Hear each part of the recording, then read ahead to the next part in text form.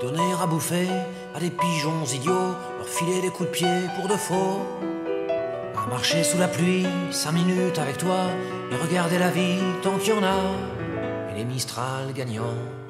Mistral gagnant, c'est des petits bons becs qu'on mangeait quand on était petits, nous.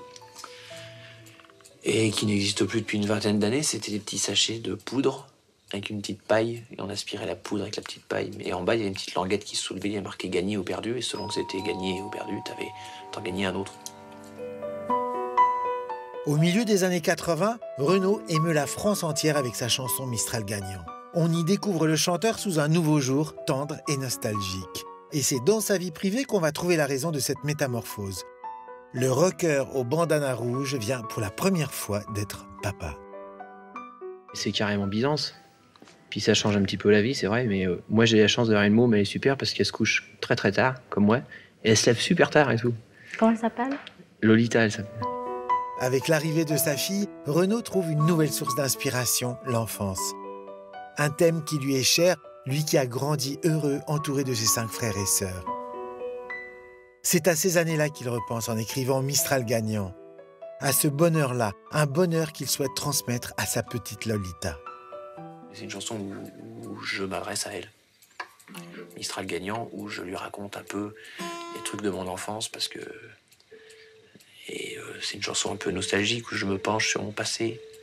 Et je serai de plus en plus nostalgique parce que, avec l'âge, plus je vais vieillir et plus elle va grandir, plus je vais me voir vieillir dans, dans ses yeux aussi. Et puis, euh, et puis plus je vais regretter mes jeunes années.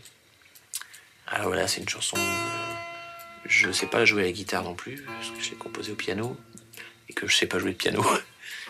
Comment je l'avais faite à la guitare Hum, À m'asseoir sur un banc, cinq minutes avec toi, et regarder les gens tant qu'il y en a. De parler du bon temps qui est mort ou qui reviendra, en serrant dans ma main tes petits doigts. Puis donner à bouffer à des pigeons idiots, leur filer des coups de pied pour de faux. Entendre ton rire qui lézarde les murs, qui sait surtout guérir mes blessures. Te raconter un peu comment été minot, les bons becs fabuleux. Piquait chez le marchand, car en sac et minto, caramel à un franc. Et les Mistral gagnants. Avec sa chanson, Renaud a touché les gens.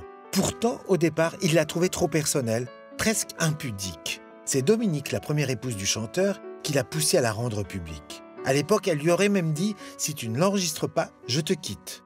Dominique avait senti le potentiel de la chanson, sans se douter qu'elle deviendrait un jour la chanson préférée des Français. M'asseoir sur un banc, cinq minutes avec toi, regarder le soleil qui s'en va.